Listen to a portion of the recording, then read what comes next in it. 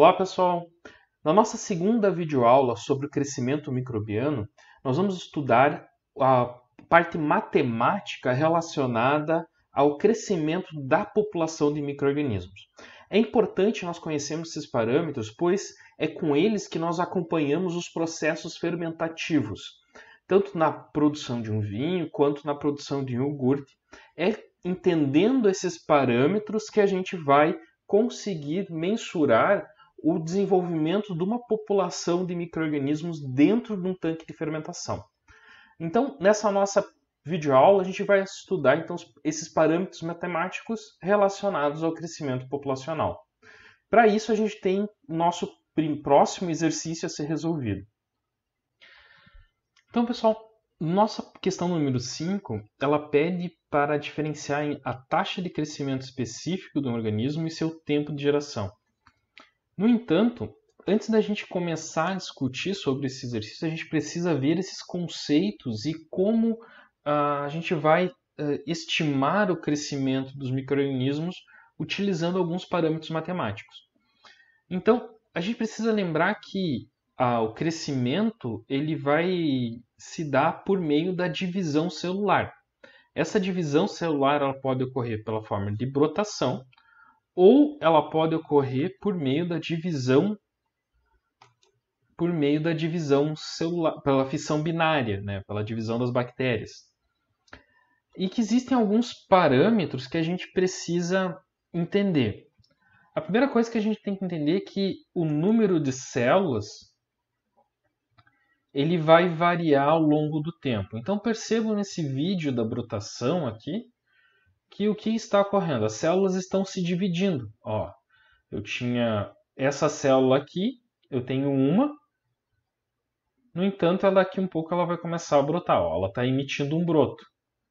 Então, essa, ao final desse processo de brotação, eu tenho duas células. Essa célula, essas duas células, com o tempo, também vão continuar brotando. Então, o processo de crescimento ele, ele decorre, ele provém do processo de divisão celular, seja no brotamento ou seja na, na fissão binária. E que ao longo do tempo, à medida que varia o tempo, ó, eu estou tendo o crescimento das células aqui ao longo do tempo, ó, nesse exemplo aqui se decorreu 31 segundos, né, 31 segundos, vai ocorrer o que? A variação no número de células. Então, o número de células ele vai aumentar ao longo do tempo. Isso vai ocorrer tanto no brotamento quanto na fissão binária. Vamos dar uma olhada agora, então, nesse exemplo das bactérias, ó, que a gente viu também na aula passada. Aqui, essas bactérias, percebam que, à medida que eu passou, decorreu um determinado tempo, uma célula, ó, cada uma dessas células aqui se dividiu em duas. Então eu tenho uma, duas, três, quatro. Então eu tinha no início duas células, meu número inicial de células eram duas. E depois um determinado tempo, que eu vou chamar de G, tinham quatro células. Então, o que isso significa? Que essas duas células se dividiram em quatro. Então, cada uma das células, cada uma delas, uma se dividiu em duas. Então a gente já consegue entender um outro conceito, que é o conceito de tempo de geração. O que, que é isso?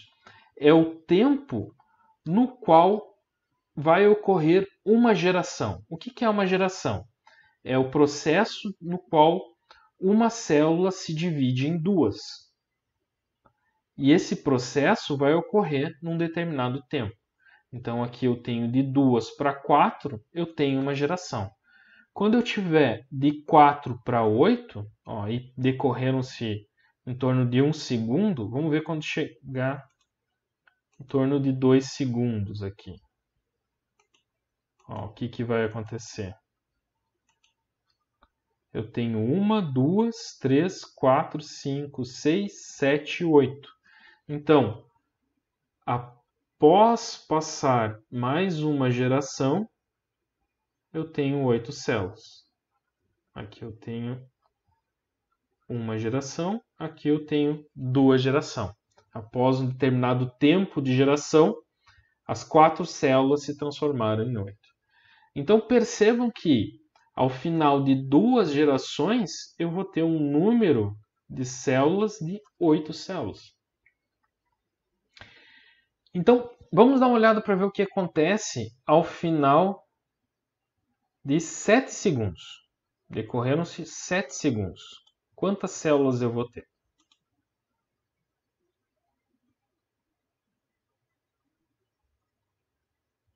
Ó, vamos procurar aqui 7 segundos.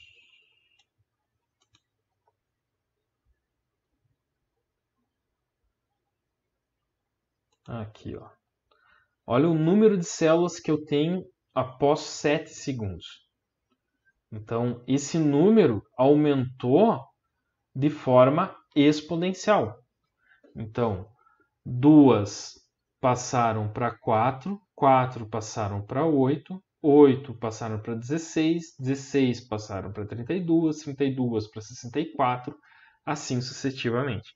Então, eu tenho um aumento no número de células ao longo do tempo. E esse aumento ele vai ocorrer de forma exponencial. E esse aumento exponencial ele vai ocorrer, a gente chama de aumento exponencial de base 2. O que, que isso significa? Que uma célula vai formar duas. Então, a gente vai ter um aumento exponencial. Tá? Então, se a gente for plotar esses dados a gente e acompanhar ao longo do tempo, a gente consegue perceber que essa população ela vai aumentando de forma exponencial, no qual uma célula se formou duas, duas formaram quatro, quatro formaram oito, oito formaram dezesseis, dezesseis 32, 32, 64, 64, 128. Então, após sete gerações, eu vou ter 128 células.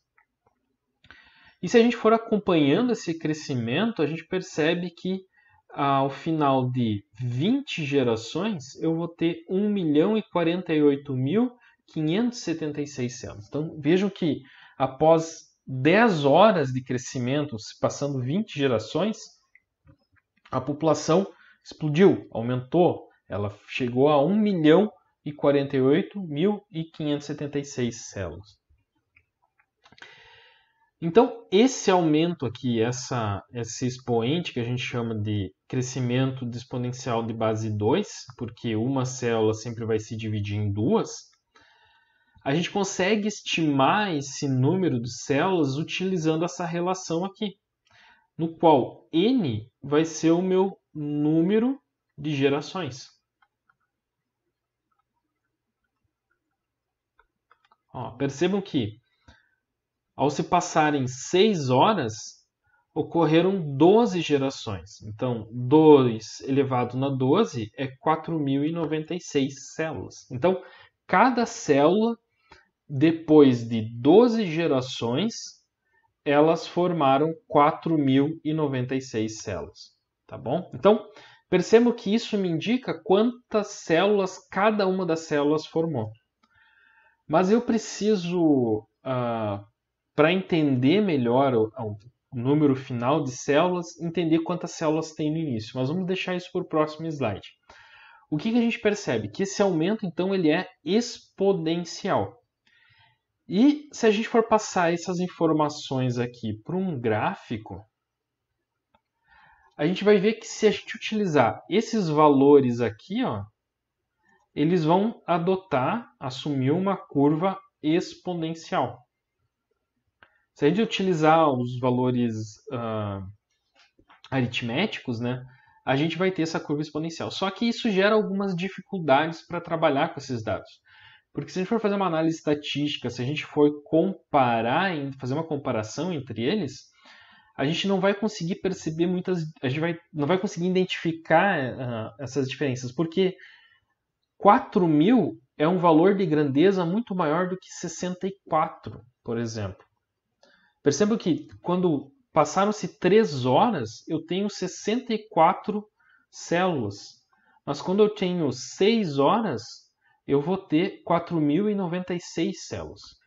Então, eu não consigo comparar essas duas grandezas de forma fácil. Então, eu preciso transformar isso num número um pouco mais fácil de trabalhar. E eu vou transformar esses valores em números logarítmicos.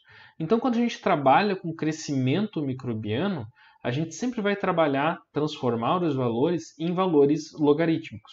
Por quê? Imagina se eu tenho aqui, após 5 horas, ó, após 5 horas, eu tenho aproximadamente mil células. Mil células, se a gente for fazer uma análise estatística, é muito diferente de 500 células. Por quê? 500 células se formaram em 4, 4 horas e meia. Então, em meia hora, a gente passou de 500 células para mil. E isso acaba sendo bem difícil. Isso são grandezas muito diferentes. Mas se a gente for transformar isso em números logarítmicos, mil ele me representa o valor 3.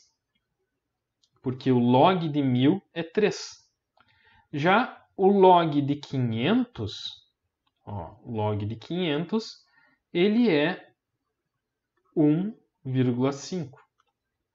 Ele Façam, pausem o vídeo e façam esse valor na calculadora. Façam um valor de log de 1000 e log de 500. Então é mais fácil para mim comparar 1,5 com 3. E a gente vê que não são números tão distintos assim, não estão tão longe. É muito mais próximo 1,5 de 3 do que 500 para 1000. Tá? Então é esse tipo de dificuldade que gera quando a gente trabalha com grandezas exponenciais. A gente precisa transformar esses valores para valores de log para poder analisar eles. Então, vamos começar a entender esses parâmetros do que a gente utiliza para calcular. A gente viu então aqui no, na, nesse, nessa tabela que a gente vai expressar os valores em valores exponenciais. E o valor que a gente consegue determinar para cada uma das células é 2 na n sendo que n é um número de gerações. Mas só que para poder estimar o número final de células, eu vou ter que saber o número inicial de células. Por quê? Porque eu sei, eu sabendo quantas células eu tenho no início e quantas gerações eu tenho, eu consigo determinar quantas células vai ter ao final dessas gerações porque cada uma das células vai formar 2 na n células. Então eu multiplico esse valor. Como é que eu faço isso para entender? Vamos acompanhar aqui nesse meu exemplo. Ó, nesse meu exemplo, é uma cultura de células no qual cada uma das uma célula produziu ao final de duas gerações quatro células. Então, ao final de duas gerações, eu tenho quatro células. Então, eu vou colocar aqui 2 vezes 2 na 1, tá? Opa, desculpa, 2 na 2. E eu tenho como meu número inicial de células 1. Então, é uma célula. Então, ao final dessas duas gerações, eu vou ter quantas células? 1 vezes 2 na 2 que é 4. Então, ao final de duas gerações, eu tenho quatro células. Mas imagine se, ao invés de uma célula, eu tivesse duas células. E essas duas células formassem duas, e essas duas formassem mais quatro. Então, quantas células eu teria? Eu teria o meu número inicial 2, vezes 2 na 2, que é 2 no número de gerações, após duas gerações, eu teria 8 células. Ó, eu teria 1, 2, 3, 4, 5, 6, 7, 8 células. Então, essa é a relação básica que eu tenho no crescimento microbiano, que é a relação entre o número final de células, ela depende do número inicial das células em razão do número de gerações. Então, se eu souber esses parâmetros, eu consigo determinar todos os outros parâmetros demais. E como é que eu vou determinar esses parâmetros? De uma forma experimental. Eu vou contar, um, eu vou montar um, montar um experimento e eu vou determinar um número inicial de células. Eu vou utilizar uma técnica de contagem que a gente vai ver no próximo vídeo. Uh, eu determino o número de células e eu conto o tempo, um determinado tempo, e eu vou determinar o número final de células. Sabendo o número inicial e o número final de células, a gente consegue determinar todos os outros parâmetros. A gente consegue determinar o tempo de geração, né? e a gente, a gente consegue determinar o número de células, o número de gerações, desculpa, eu consigo determinar o número de gerações e eu vou determinar a taxa de divisão. Tá? Então, esses são os parâmetros que a gente vai determinar. Vamos olhar cada um deles com calma. Bom, o que, que é o tempo de geração? Tempo de geração é o tempo que leva uma célula se dividir em duas. Como a gente viu, é o tempo que leva para passar, ocorrer uma geração. Então, esse é o tempo de geração.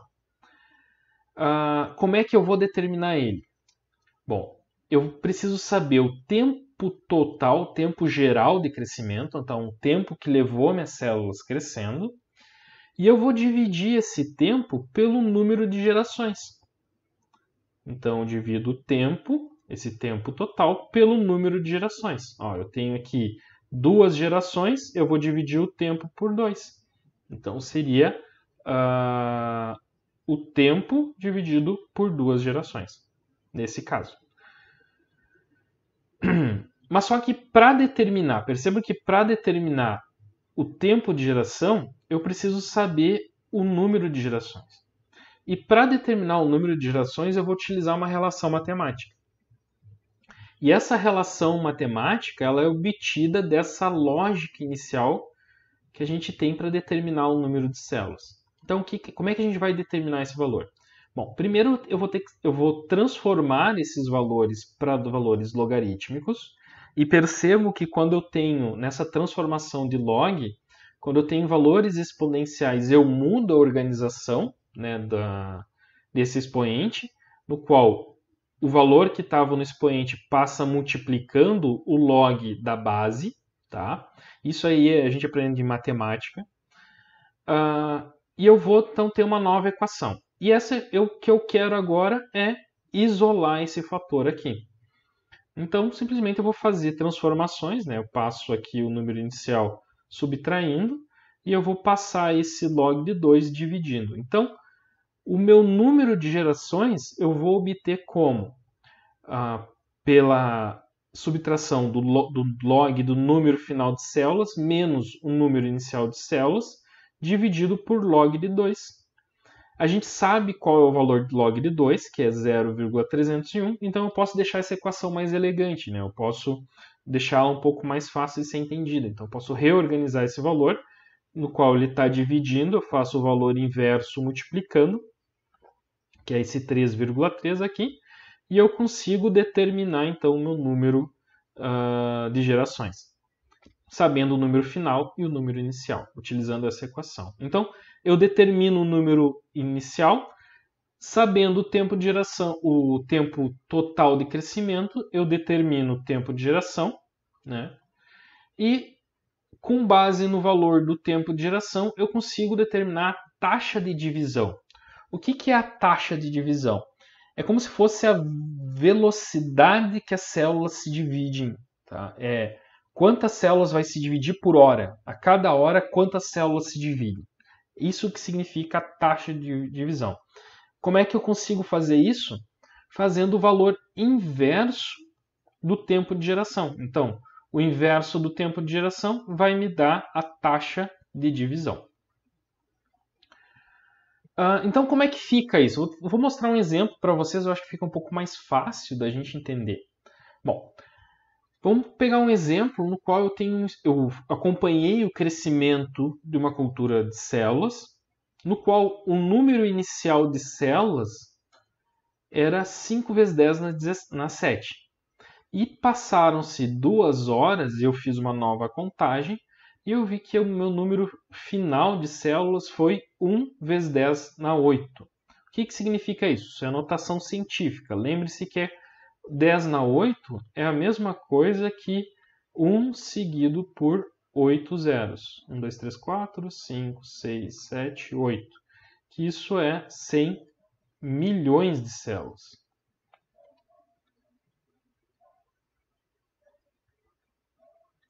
Então eu tenho aqui 100 milhões de células. E o meu número inicial era 5 seguido de 7 zeros. 4, 5, 6, 7. 1, 2, 3. Ou seja, são 50 milhões de células.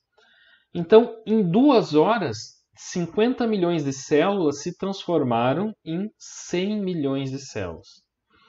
Então, para poder determinar os parâmetros que a gente utiliza para acompanhar e para comparar o crescimento microbiano, a gente vai uh, primeiro determinar um número de gerações.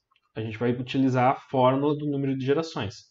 A gente vai fazer o log do número final de células, log de 1 vezes 10 na 8, tá? menos o log do número inicial, que é 5 vezes 10 na 7. Desculpa que isso aqui está errado tem que ser 10 na 7, tá? Elevado a 7, tá? Uh, então, se eu for subtrair esses dois valores, então log de 10 na 8 é 8 e log de 5 vezes 10 na 7 é 7,69. Então percebo que eu estou subtraindo 8 menos 7,69. Então isso aqui vai dar um valor de 0,301. 0,301 multiplicado por 3,3 vai me dar um número de uma geração. Então, passar do valor de 5 vezes 10 na 7 para 1 vezes 10 na 8 ocorreu uma geração. E essa uma geração ela vai ter quanto tempo?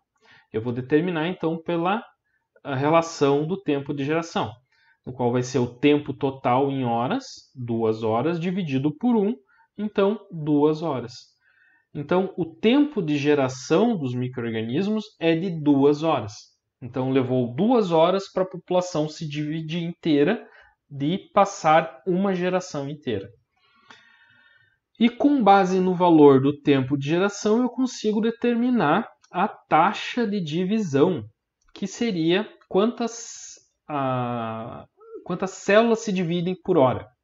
Então, eu faço o inverso do tempo de geração e eu sei que eu vou ter 0,5 células se dividindo por hora. Bom, existe um outro parâmetro também que é o que está relacionado com a nossa, nossa pergunta. Então, o outro parâmetro que a gente precisa, que a gente utiliza para comparar o crescimento dos micro-organismos é a taxa de crescimento específica. O que é essa taxa de crescimento específica? Ela representa a velocidade específica de cada microorganismo. E ela é uma constante para aquele microorganismo naquela condição de meio que ele está crescendo. Então, como é que eu obtenho esse valor? Esse valor é dado quando a gente monta uma curva, a curva de crescimento desse microorganismo, e transforma essa curva para uma curva logarítmica, que ela vai formar uma reta.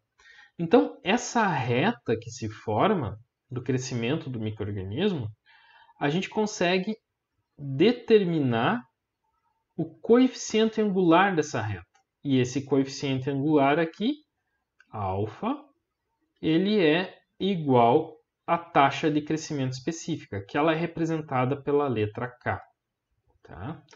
Como é que eu determino essa taxa, esse, essa taxa de crescimento específica ou o, o coeficiente angular da reta? Lembre-se isso da matemática básica, né? Essa, o coeficiente angular ele é o cateto oposto desse triângulo que se forma aqui da nossa reta sobre o cateto adjacente. Então, fazendo a relação do cateto oposto pelo cateto adjacente, eu consigo determinar esse ângulo aqui.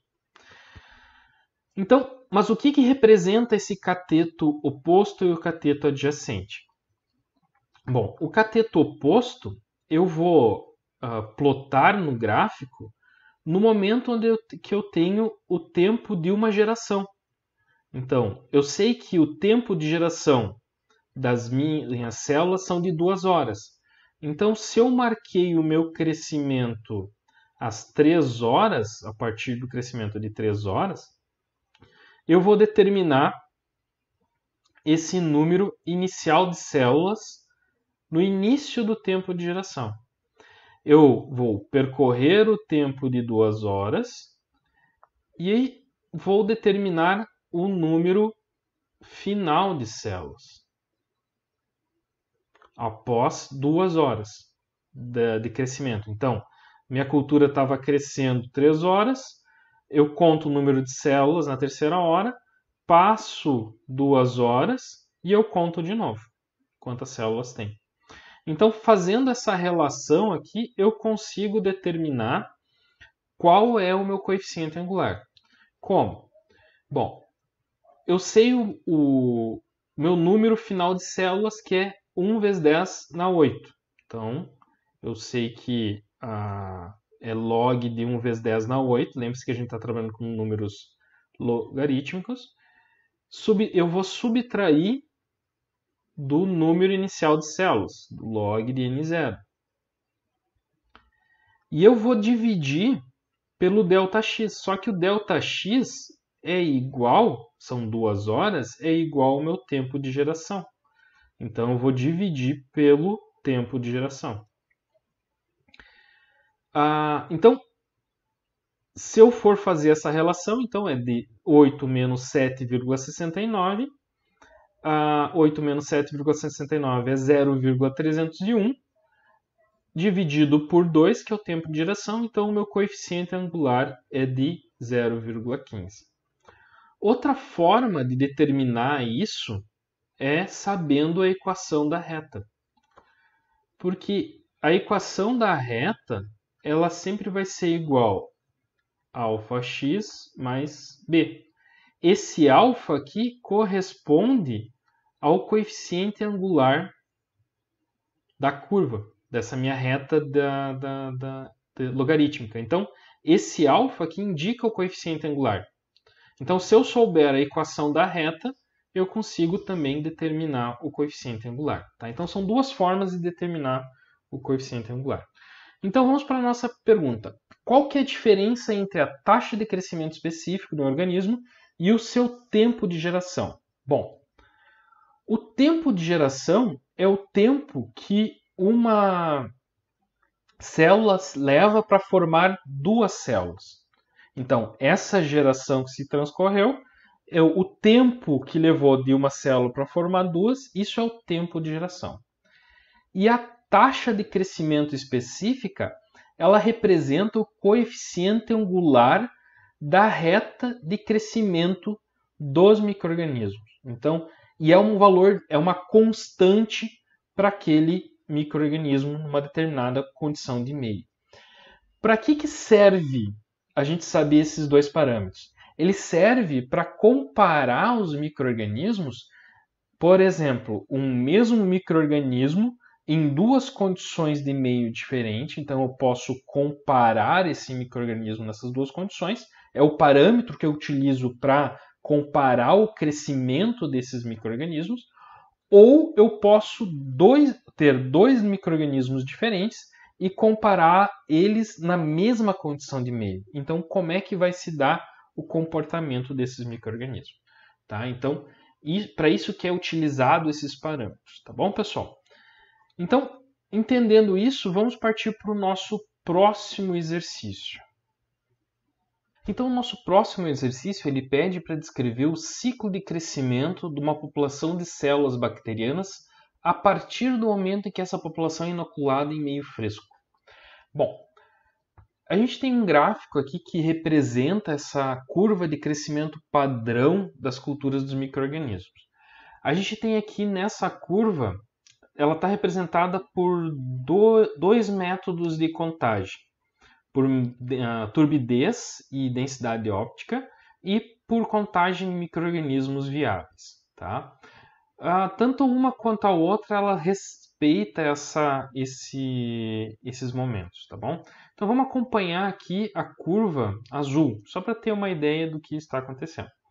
Bom, quais são as fases do crescimento? A gente tem a fase lag, exponencial, estacionária e fase de morte.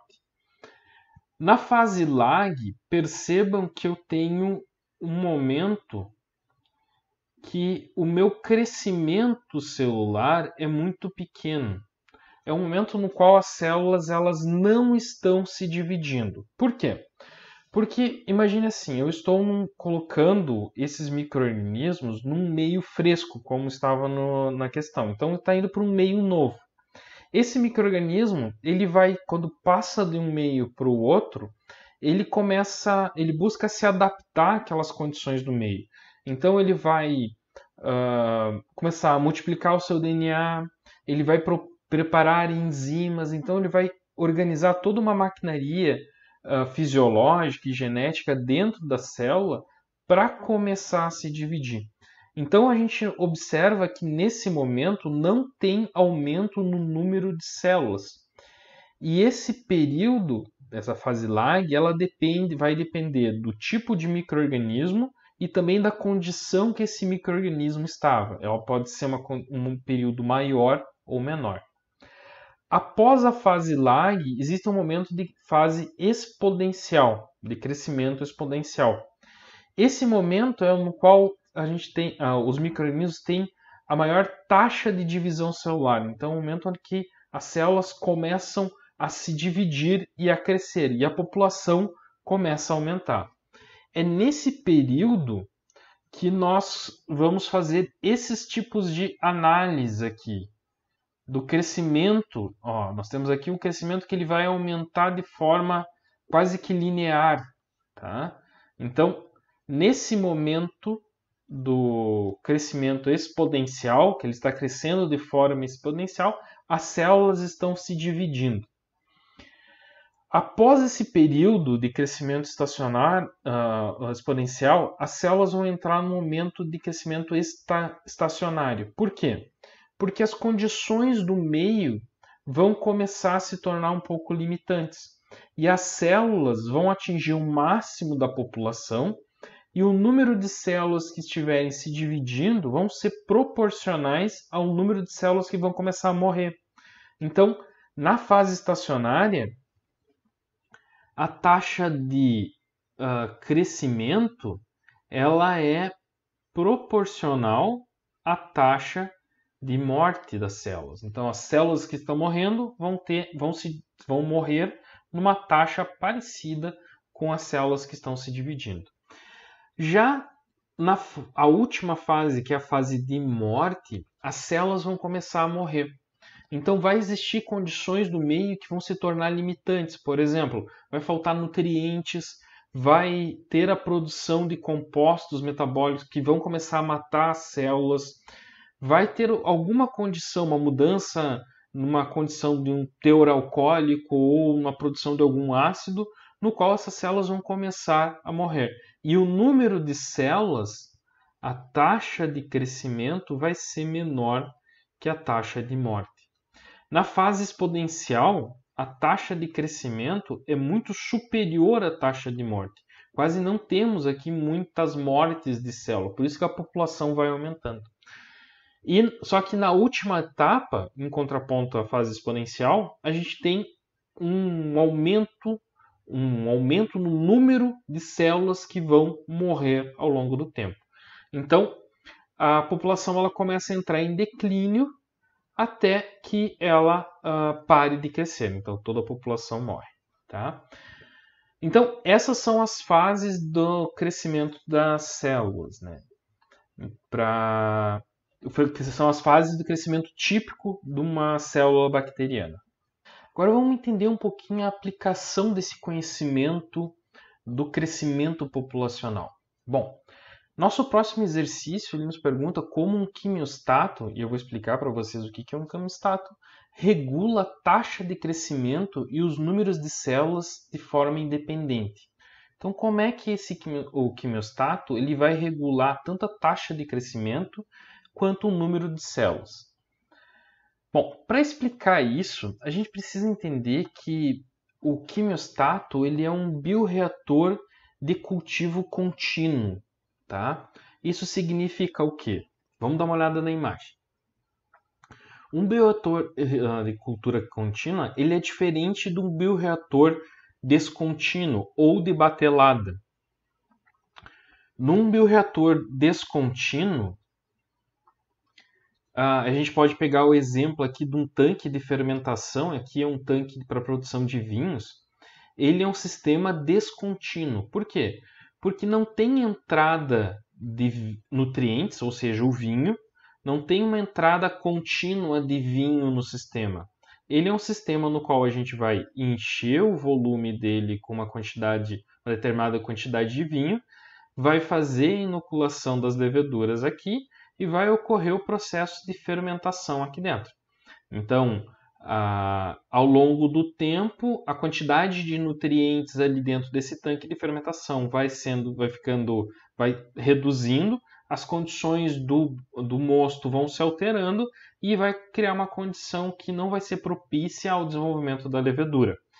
a gente vai estudar, quando for vocês estiverem microbiologia enológica, os alunos da, do, da viticultura, vocês vão ver uh, o processo de, da, da, sucessão das populações de micro-organismos dentro do vinho. Mas, por enquanto, a gente tem que entender que esse é um sistema de cultivo em batelada. Por quê? Ou descontínuo. Porque não tem uma entrada de nutrientes aqui dentro.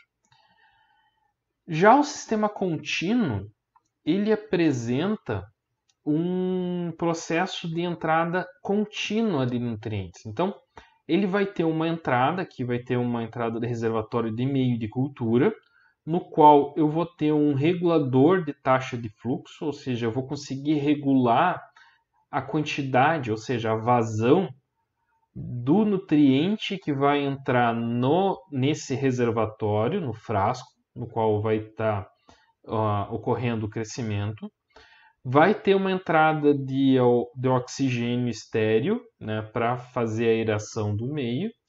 E percebo que eu tenho aqui uma coluna. Essa coluna aqui vai ser o local no qual vai sair o excedente daquele cultivo. Então, percebam que ah, eu, vai, vai, se formar aqui, por causa dessa coluna, que aqui vai, vai ser como se fosse uma espécie de um ralo, tá? de um ladrão no qual o meio de cultura vai sair. Então, ele vai ter sempre um volume, e esse volume eu posso aumentar ou diminuir regulando a entrada do nutriente. Então, eu vou conseguir uh, aumentar ou diminuir a quantidade de nutriente fresco que eu vou colocar nesse meio de cultura. Por isso que é um sistema contínuo, ele vai ser um sistema que sempre, eu sempre vou estar alimentando ele. Existem outros sistemas, né? sistema descontínuo, semicontínuo, contínuo alimentado, contínuo, mas uh, os alunos que fizerem a disciplina de biotecnologia do curso de tecnologia de alimentos vão estudar um pouquinho mais sobre o funcionamento desses tipos de bioreatores, tá? Mas por enquanto vamos comparar só o sistema descontínuo com o contínuo. Então, o... no sistema embatelado, descontínuo, o fator que controla tanto o, a taxa de crescimento do microorganismo vai ser a concentração do nutriente.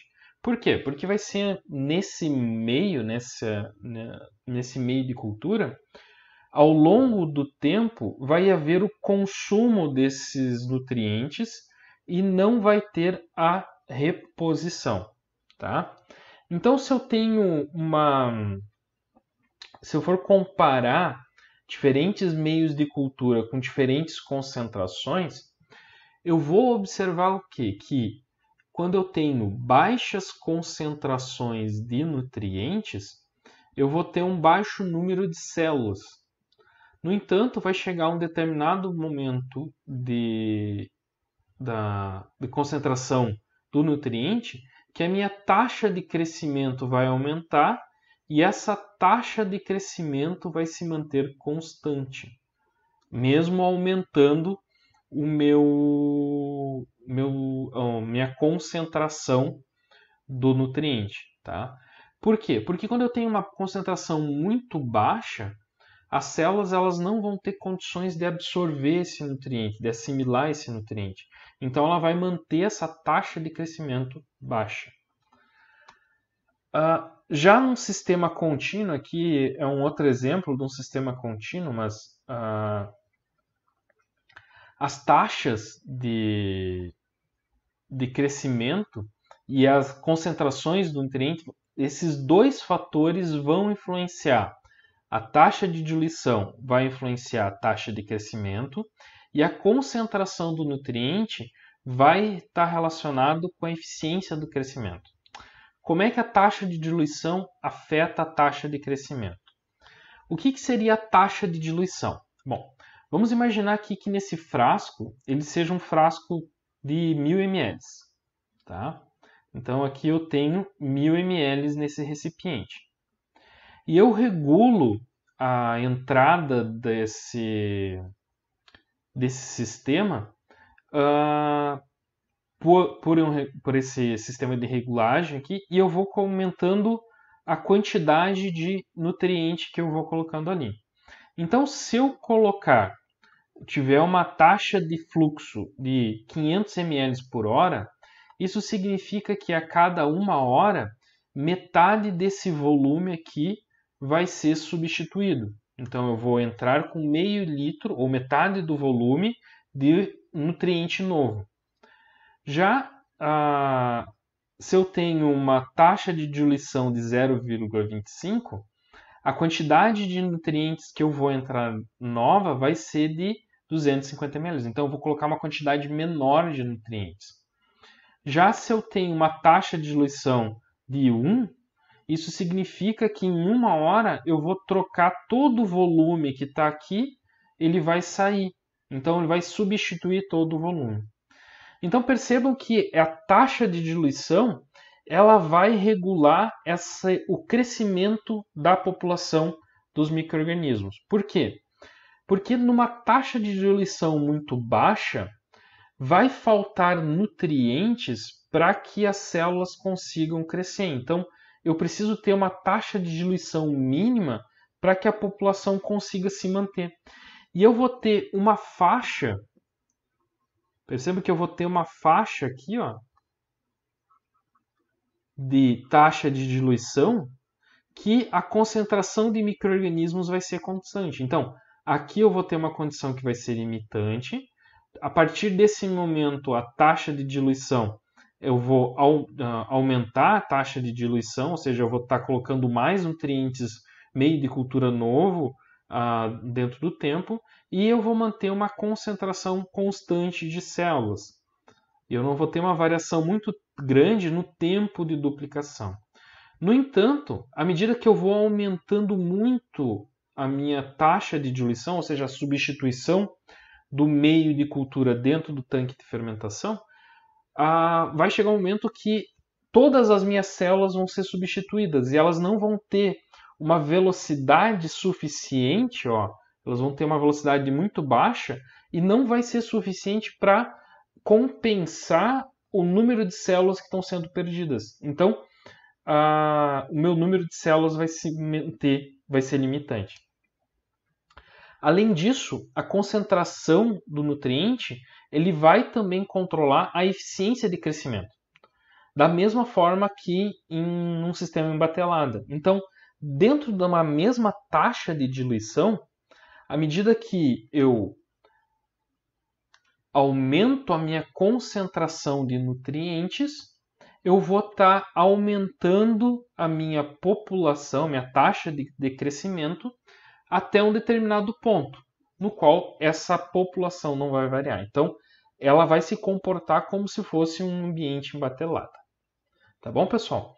Então, com esse exercício, a gente termina essa parte da, do crescimento populacional, da gente entender o crescimento populacional dos micro-organismos. Então vamos para o próximo vídeo falar sobre os métodos de contagem de micro-organismos.